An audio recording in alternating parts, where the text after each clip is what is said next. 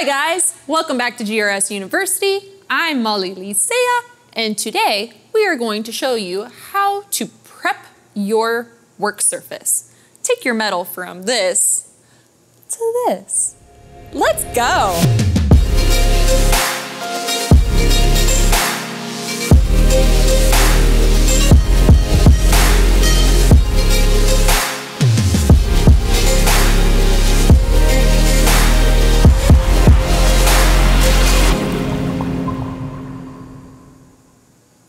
Right, guys, today we're going to be talking about metal prep.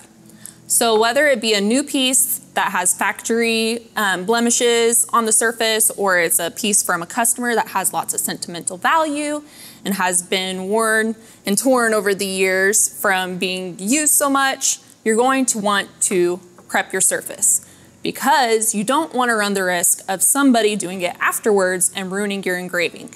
So today we're going to do a basic practice plate using information from Bruce Farman. This information can be found in our e-magazine Learn online.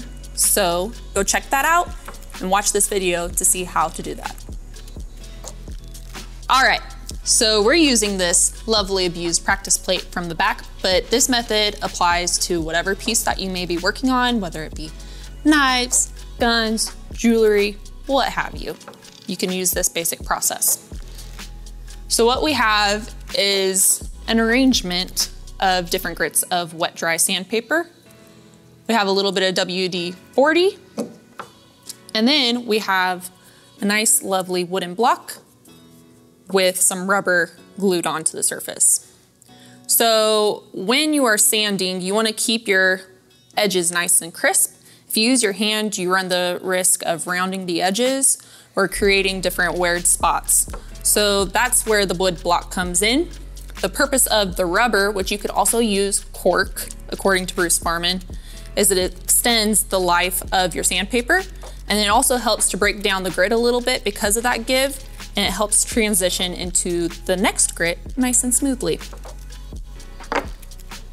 So also when you're doing this, you're going to want to sand the whole piece. If you care about yourself and you care about your customer, then you're not going to want to have your lovely engraving sitting next to a haggard edge. So make sure that you prep the whole surface. What we're going to do is I've already pre-cut some strips. I'm gonna start with 220. That's because this isn't really scratched up too much. You may have a piece that's not as bad as this and you can start with a higher grit. You may have a piece that's worse than this and you might have to start with a file. We recommend not using a file unless you absolutely have to. We're starting with 220. We're just gonna wrap this around the block. And then I have my piece locked down into a vise. This just makes it easier to hold. I don't have my fingers in the way. We're gonna spray it with a little bit of WD-40. And I'm gonna start at a 45 degree angle.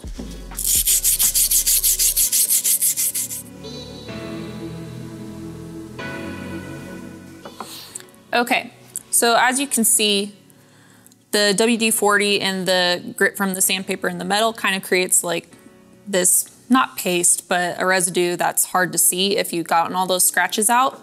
So in between, I'm just taking a shop paper towel and wiping that off to kind of look at it from different angles, make sure I've got those heavy scratches out. And then once I work through this, I'm gonna go up to the next grit, which will be a 320. This definitely takes quite a bit of time, but it's worth it. You want your engraving to be on a good surface. So once I finish going through this 220, we're gonna put the 320 on and we'll work at the opposite angle, a 90 to this 45 right here. Okay, so now I'm switching over to my 320.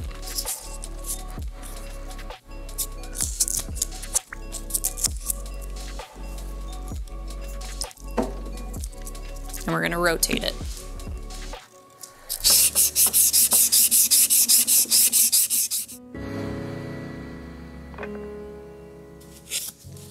Okay, so the purpose of going the opposite angle when you switch between grits is that you can see some of these lines right here. That was from my 220 grit paper, and we wanna keep going until all of those lines are gone. They should all go in one direction.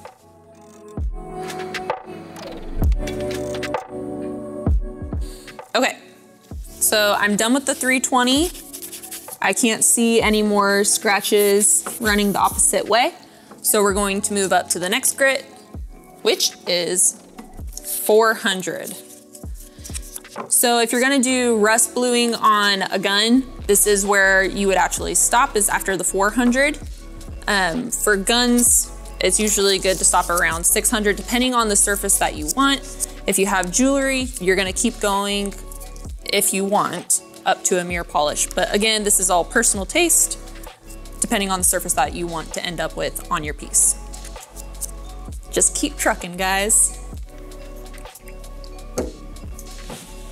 Rotate.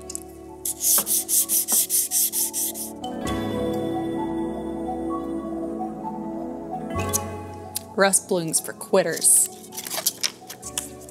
We're moving on to 600.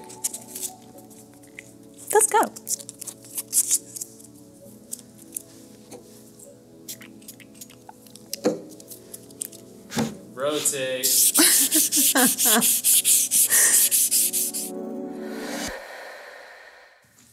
All right, so we just finished up with the 600.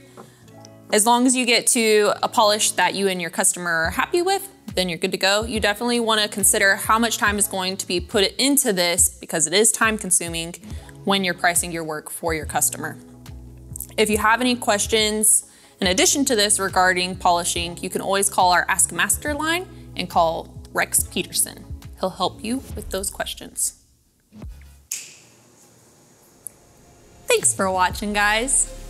As you noticed from this video, we are not above self-promotion. You got our Ask a Master feature, you got our e-magazine, Learn.